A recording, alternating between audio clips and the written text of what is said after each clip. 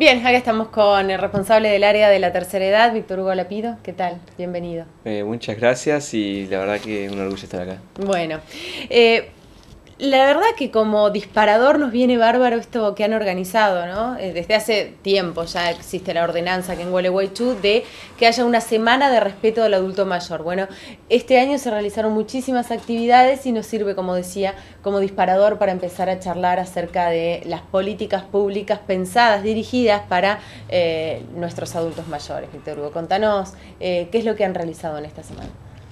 Bueno, todo está en el marco de una política pública que es de la participación, del empoderamiento de los adultos mayores en sus derechos. Así se crearon las asambleas populares, el presupuesto participativo del adulto mayor.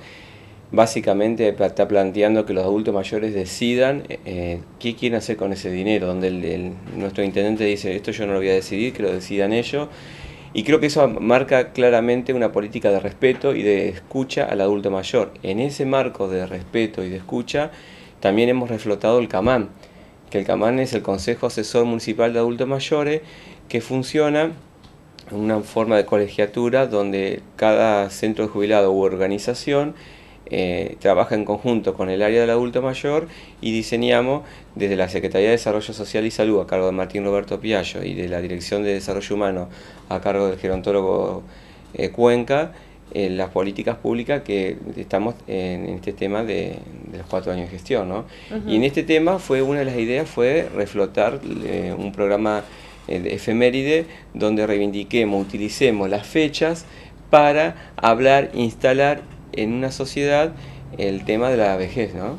Y una de esas fue, empezamos el 15 de junio, que es la toma de conciencia contra el abuso y maltrato en la vejez, una obra itinerante que ha ido por todas las escuelas, eh, qué mejor que el teatro para contar cosas cotidianas y para reflexionar a través del grupo de teatro Experiencia Kamikaze. Después, eh, la Semana del Respeto al Adulto Mayor, donde hemos dado varios, eh, varios planteos. ¿no? Contanos. La primera tiene que ver con darle una mayor incidencia y participación a los artistas mayores de 60 años que que ellos puedan intervenir bastones a través del arte, puedan dar ellos la mirada que tienen con respecto eh, a, la sociedad, ¿no? Y la verdad que eh, cuando empezamos a hablar del tema de los bastones, eh, muchos hablaban de sus madres, el vínculo con sus madres. eso me, encantó, la verdad que... Y trajeron anécdotas de ellos y, qué diferencia en nuestros tiempos con los tiempos de ellos, ¿no? Y eso me, la verdad que me, me emocionó mucho. Después, al otro día, hicimos el reconocimiento de la trayectoria creo que una sociedad que no, no sirve de nada para, esta es una opinión muy personal, ¿no? Eh, que hagamos reconocimiento después de muerto, ¿no?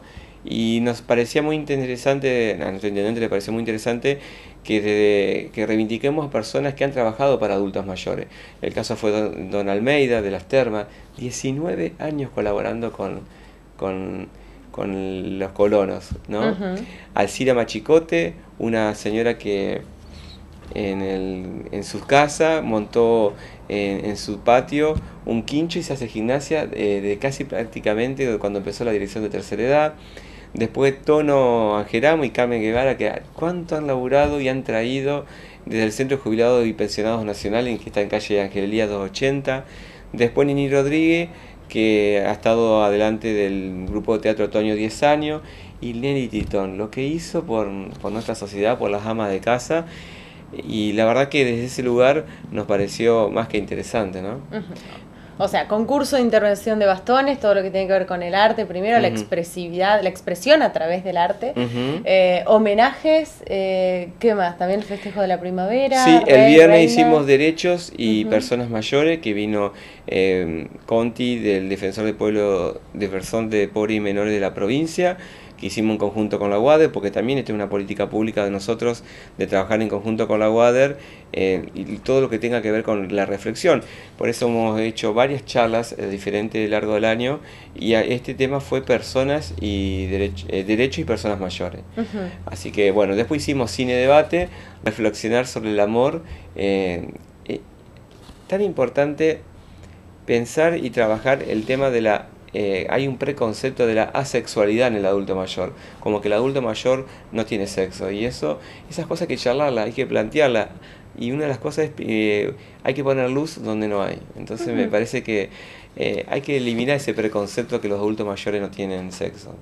Y nos pareció el, el Fred algo más que interesante. Y después, bueno, el domingo fue la, la caminata de la, de la primavera, la tradicional caminata que se sale del corsódromo, se camina y, se va al, puerto, se elige el sombrero primaveral y la reina y el rey, que antes que usted me, me diga no, no me acuerdo el nombre ahora, pero la verdad que eh, es ese, espíritu alegre. Y bueno, también quiero decirte que al otro día, eh, desde el CAMAS se presentaron 2.457 eh, firmas, y ahora hay más firmas para llevar, para que se vea la posibilidad de la gratuidad o de, una quita importante en el boleto del adulto mayor, para que ellos puedan acceder a, la gratuidad o una quita importante. El boleto de colectivo. El boleto colectivo. Desde ese lugar eh, también, porque en este proceso de transparencia, después de 20 años se hace un proceso licitatorio. Entonces dijeron los adultos mayores, este es el momento oportuno para acompañar las políticas de este intendente, decir, bueno, si eh, se va de este debate de un, de un llamar al transporte público, medida que nos pareció fantástico, eh, dijimos, eh, ellos dijeron, bueno, vamos a apoyar con firmas y que vean la posibilidad del derecho de ellos. Y creo que no, es, no se está pidiendo nada alocado y creo que ya hay experiencia en Córdoba, en parte en Capital Federal, en algunas partes, el tema de la gratuidad del adulto del boleto. Así que desde ese lugar ellos quisieron acompañar este proceso licitatorio y de transparencia. Y al otro día hicimos debate también, La vida comienza hoy que trabaja muchos eh, cuestionamientos a los estereotipos de, relaciones amorosas de los adultos mayores con el área de género y diversidad sexual, ¿no? Y al otro día, el día miércoles, antes de ayer, se hizo, perdón, ayer, eh, miércoles, se hizo eh, La noche que despertamos en, una gala en el Teatro Gualeguaychú, esa, esa obra de teatro que para los niños llevar a la comunidad. Una obra de teatro de 45 minutos que nos invita a reflexionar eh, desde el lugar de convivir en un lugar de un geriátrico y, esas cuestiones. Y después culminamos ayer, hoy, perdón, estoy medio perdido con el tiempo, culminamos hoy con eh, el reconocimiento a los bastones que ganaron. Así que, y muy, muy emocionante. Son cosas muy íntimas que, que la vas viviendo y que van surgiendo. Hay muchas cosas que, que ya son el disparador para el año que viene de otras cosas. otras actividades. Eh, Víctor Hugo, bueno, independientemente de esta semana y de las efemérides como disparadores para realizar este tipo de actividades, ¿qué es lo que se hace durante todo el año? Eh, ¿Cuáles son los talleres? ¿Qué se le ofrece? Eh, ¿Cuál es, el, cuál es la función que cumple en la Municipalidad de Gualeguaychú el área del adulto mayor? Nosotros estamos eh, básicamente centrados en la prevención y promoción de la salud a través de talleres como tenemos en todos los CAP talleres de gimnasia, tenemos gimnasia acuática, que hacemos hicimos un convenio con, eh, la, gente de la cancha de la liga, del Club Neptunia, perdón, y, el, trabajamos mancomunadamente con el Centro de Educación Física número 6, con, eh, con esta gente que también estamos dando gimnasia acuática. Eh, taller de folclore, murga, teatro, coro, radio, internet. Em, estamos este, dando tai chi en diferentes lugares, eh, yoga, meditación guiada, taller de radio. Acompañamos y invitamos al, proceso de, los talleres UPAMI, que son más que interesantes, que tienen talleres de memoria, eh, cuestiones con la tecnología. Bueno, y también tenemos un gran marco de responsabilidad eh, acompañando todo este nuevo proyecto que ha implementado nuestro intendente, un proyecto único de participación, que es el presupuesto participativo del adulto mayor, que nos ha llevado mucho tiempo, como así también eh, una íntima relación transversal trabajada con todas las áreas a través de los CAPS. La idea es que a través de un CAPS empiecen toda la, la gestión del municipio, de que el adulto mayor no se tenga que trasladar, como también cualquier persona de barrio eh, no se pueda trasladar al centro y que se lo podamos resolver desde el CAPS. Así que desde ese lugar estamos fomentando todas las actividades y copensando con la gente, trabajando con la gente.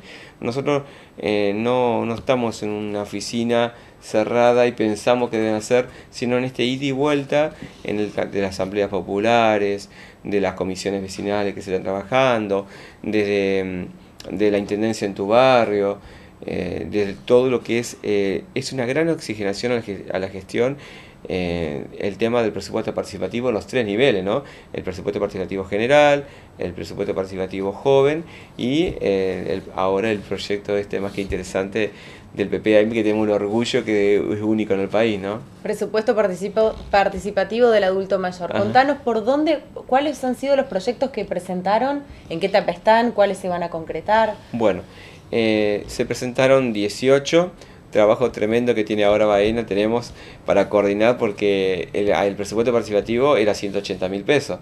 Y los proyectos que se han presentado son 280 mil, así que hay que trabajar pero esto está fantástico porque... ¿Quedan, ¿Quedan, proyectos afuera? O, bueno, eso no tiene que... Nosotros no decidimos, deciden ellos, si no, no sería participativo. Ellos van a tener que decidir o achican o se va a convocar a... Ahora, la próxima asamblea... ellos son los, abuelos. los adultos mayores. Los adultos mayores en esa asamblea son los que hablan, los que van a decidir si hacen reducción, aprueban uno o desaprueban otro. Y si no llegan a un acuerdo, se convocaría a una votación, una nueva asamblea y ahí ganarían los proyectos más, votados. Mm. Nosotros vamos a acompañar todo ese proceso. ¿Qué se está haciendo de la, Secretaría del Poder Popular a través de María Cira? Es eh, acompañar este proceso, eh, que presente eh, los, los, proyectos con sus respectivas 20 firmas que se les pidió, avalando ese proyecto y que los, los presupuestos sean legales, que las personas que le puedan hacer el, ya sea lo que sea, que sean, que puedan facturar, así que desde ese lugar, y también eso es lo que se llama la factibilidad técnica, ¿no? Así que bueno, y la mayoría son 18 proyectos que tienen que ver eh, con continuar con las mejoras del presupuesto participativo. Mira lo importante que es. Estamos a, a pocos meses de inaugurar el Centro de Jubilados del Suburbio Sur una gran y todo ello es ha sido un grupo de adultos mayores que ha sido estimulado el municipio le dio el, terreno y con el presupuesto participativo más el trabajo de ello eh, pocos meses vamos a tener un centro jubilado eh, en, el, en el suburbio sur y eso tiene que ver con, con, el presupuesto participativo. Ahora el adulto mayor que va a fomentar que tengan mejores instalaciones en los centros de jubilado, que a su vez los talleristas que nunca alcanzan la plata para, para que me falta esto, bueno, la mayoría de los talleres han pedido cosas deportivas y, y culturales, equipo de música, pelota para, para ensayar, em, equipamiento para sus talleres, vestuario, em, podología, talleres en creación de nuevos talleres, o sea, pagar el sueldo a un nuevo taller, eh, a un tallerista. Eh, la verdad que, y todos tienen que ver con las ganas de vivir. No, mientras te escuchaba estaba pensando que esta posibilidad de preguntarles a ellos qué es lo que necesitan, digamos, está el dinero disponible, qué quieren hacer con ello y no directamente ir y, eh, como vos decís, detrás de un escritorio suponer que eh, los adultos mayores de Gualeguaychú necesitan tal y tal cosa, eh, es darle voz. Totalmente. Porque vos fíjate esto, estamos en una sociedad de la juventud que parece ser que es lo único más importante de la vida y que si, no, si no sos joven no, no podés disfrutar. Y una sociedad, callate abuelo que vos no sabes nada, callate abuelo, no, no, déjame hablar a mí que nosotros sabemos. Nosotros estamos diciendo, no, usted señor, decida en qué va a gastar este dinero, con su impuestos, usted ha contribuido a que haya este dinero y ese dinero ustedes van a resolver cómo para su sector mejoramos la calidad de vida. ¿Qué, otros, ¿Qué otras preocupaciones, inquietudes, eh, tristezas, alegrías has logrado eh, interpretar, escuchar, conocer de los adultos mayores a raíz de, tu función? Eh, ellos están en este contexto, porque uno no es que haya a decir política partidaria ni por el estilo, pero hay un contexto nacional donde está costando sostener cosas obtenidas y a nivel local estamos sosteniendo. Hoy es muy preocupante la situación de muchas cosas que están pasando en el PAMI, digamos, en ese lugar. Eh, nosotros desde el CAMAN dijimos, bueno, si ellos hicieron las jornadas de derechos humanos, que el 29, el, 29 de agosto, 28 de agosto, fueron los del Día de los Derechos de la Ancianidad, Y hay, hay cosas que hay que trabajar. Ellos no son beneficiarios del PAMI, son usuarios, son los dueños del PAMI. Y por lo tanto, eh, ellos, uno los va a acompañar en este proceso de, de, eh, eh, empoderamiento de sus derechos, ¿no? Y bueno, ellos están muy preocupados, por ejemplo, desde marzo que nos han pagado los talleristas compartidos que tenemos, el sueldo, y ellos han venido a preocuparnos, y por nosotros hemos dicho, bueno, además de la forma, tenemos una, una, buena relación con el PAMI, pero bueno, a la vista desde marzo que los talleristas de, que tenemos compartido con el área de adulto mayor no han cobrado, han cobrado sin el dinero de nosotros y no el, el dinero que le entendía que venía por el PAMI. Así que desde ese lugar eh, esa es una gran preocupación que hay. Y, y bueno, del tema de los remedios y bueno, eso que uno, en, uno como municipio no eh, acompaña este proceso, ¿no? Y como sociedad, somos una sociedad, Gualeguaychú es una sociedad amigable con los adultos mayores. Es difícil hablar de, creo que, creo que si vos recorres la provincia, las políticas públicas de adulto mayor eh, es diferente. No me crean, recorren y preguntan qué hay en otras municipalidades y no lo vas a encontrar. Eh, como sociedad creo que uno ve que las actividades que uno hace desde el Estado eh, les gusta a la gente. Bueno, ahora a la hora de participar, los, el voluntariado creo que está más enfocado en otras temáticas que en la temática del adulto mayor, ¿no? Me parece que, falta mucho, creo que es una sociedad que no, escapa a la realidad mundial donde se venera la juventud y no como otras culturas que se venera al adulto mayor y realmente eh, creo que nos hace falta. Eh, creo que la paradoja es que si uno está hablando una semana al respecto al adulto mayor, quiere decir que de alguna forma que se necesita, reflexionar. Mm. Creo que desde el momento cuando uno se enoja con alguien y dice viejo de, eh, o me parece que, que uno, lo ve, que si uno... Que la palabra viejo ya, sola, la palabra viejo ya denote algo negativo.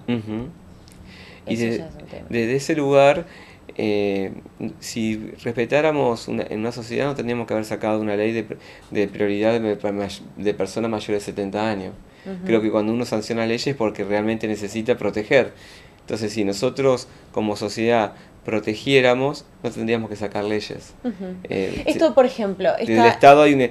Porque hay que entender que la vejez no es una cuestión solamente del Estado es una responsabilidad de todos. Claro. Esta, esta implementación de que los, los días martes vayan a rendir el examen de conducir, este, ¿surgió de tu área? Sí, eh, básicamente fue una idea de Juan José Cuenca eh, con el director de tránsito porque también uno no es que tiene todas las ideas, uno un gran receptor, escucha a todo el mundo y vemos cómo planificamos, porque también es decir, le pedimos al, al, ciudadano, no es que, ah, tengo una idea, háganlo ustedes, no. Tengo una idea, se te cargo, vení, vamos a trabajar, ¿qué pones vos como privado, como voluntariado, qué ponemos como el Estado? Y fue una idea de poder agilizar y que sea una atención personalizada, que ellos no tengan que rendir con otros jóvenes, porque los tiempos son diferentes. Entonces es importante entender los tiempos del otro. Y, fue una medida acertada porque el examen teórico han, realmente han sido eh, han dado un salto cuantitativo y cualitativo. Bueno, bienvenido sea entonces. Eh, ¿Qué nos falta entonces? ¿Dónde? Aprovechando la, la audiencia, eh, como sociedad en Gualeguaychú, ¿de qué, qué manera podemos contribuir para que nuestros abuelos estén mejor? que se comprometan con los vecinos de su barrio, que se comprometan en, la, en la, agilización de los trámites. Todos debemos eh, simplificar las cosas. Eh, las, obras sociales son muy burocráticas, eh, van y vienen, van y vienen. Yo con el tema de la receta de mi madre, que yo he cuidado, mi, padre cuidó 18 años como usuario del PAMI, y, muchas veces tuve que hacer carta de documento. Entonces tenés que lidiar con el desgaste de la enfermedad más el desgaste de la burocracia. Creo que debemos pensar, agotar. No se puede vivir, hay muchas situaciones precarias que debemos eh, todos pensar de agilizarle al adulto mayor. Eh, tenemos que de alguna forma eh, agotar ese compromiso de, de poder eh, compensar con el otro. Uno no tiene una posición en contra de los geriátricos, pero es la última instancia. Hay un montón de situaciones que alternativas para llegar a eso y además evitar el desarraigo, respetar sus derechos, su voz, eh, es, es, muy importante. Desde ese lugar creo que lo tenemos que practicar en nuestra... Si no estamos como también cuando van los niños, que eh, dejan el chico en el jardín y que lo tiene que buscar la maestra jardinera. No, no es así. El, el, el, Estado no el Estado tiene una gran responsabilidad, pero como, como sociedad y como familia eh, tenemos la primera, eh, la primera responsabilidad. El Estado muchas veces se quiere inculcar que el Estado se tiene que hacer de cargo de todo, no, para ahí también eh, es muy fácil, si no estamos depositando eh, todo en el otro y yo como sociedad no pago impuestos, no respeto, que se haga cargo del otro. Y cuando el Estado después hace cumplir, puteamos al Estado. Mm, bueno, Víctor Hugo, te agradezco muchísimo que hayas venido. Eh, felicitaciones como siempre por tu trabajo. y, Yo quiero agradecer que une una expresión de, de un montón de de gente, uno está acá, pero el área de diseño con todos nuestros flyers, la parte administrativa, la, parte de suministro, la parte deportiva, eh, hay tanta, todo el personal del área, porque, porque no es lo mismo ser tallerista de adultos mayores que de otra, de otra eh, granja, de otra franja etaria de, de la sociedad. Y de ese lugar quiero agradecer a todos porque uno es la expresión de algo pero en realidad hay mucho trabajo detrás de mucha gente que trabaja, eh, que es su trabajo, pero, pero uno llega acá porque hay mucha gente que estuvo atrás trabajando. Bueno, Víctor Hugo, muchas gracias. Gracias a vos. Y los medios de comunicación son muy importantes para nuestra actividad. acá estamos a disposición. Víctor Hugo Lapido, en Observadores. Hacemos una pausa y ya volvemos.